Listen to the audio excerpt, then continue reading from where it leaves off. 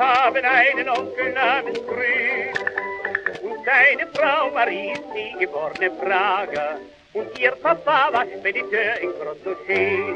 Sie, sie, sie, dann sind sie auch verwandt mit Tante Grün. Denn Tante Mariechens Liebcousin war jetzt ein Schwager. Und dessen Frau ist doch Helene Grün aus Wien. Stimmt, stimmt, das ist die Tante Lene. Stimmt, stimmt, sie mit die falschen Zähne. Bravo, bravo. Jetzt sagen wir uns aber so.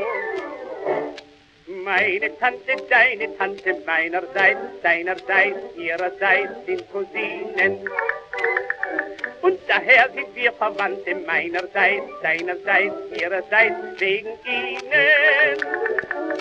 Das ist zwar Vetter Fuhrmanns Weißbefehl, jedoch es ist mir ein Genuss. Denn meine Tante, deine Tante, meinerseits, deinerseits, ihrerseits, allerseits Schluss.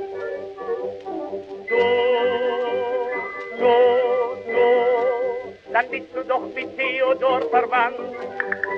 Dein Schwiegervater ist der Neffe von dem Esel. Ich sage dir, die Ähnlichkeit ist ganz frappant. So, dann kennst du doch den alten Polacek, den Bruder von der Rosa, die die Kuchenbrösel sich immer putzt von ihrem stolzen Busen weg. Stimmt, stimmt, die Tante ist aus Polen. Stimmt, stimmt, der Teufel soll sie holen. Bravo, bravo.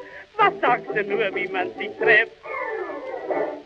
Meine Tante, deine Tante, meinerseits, deinerseits, ihrerseits sind Cousinen.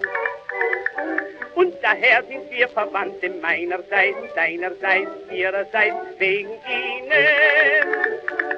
Das ist zwar fetter Fuhrmanns Weizenstiel, jedoch es ist mir ein Genuss. Denn meine Tante, deine Tante, meinerseits, deinerseits, ihrerseits, allerseits Lust.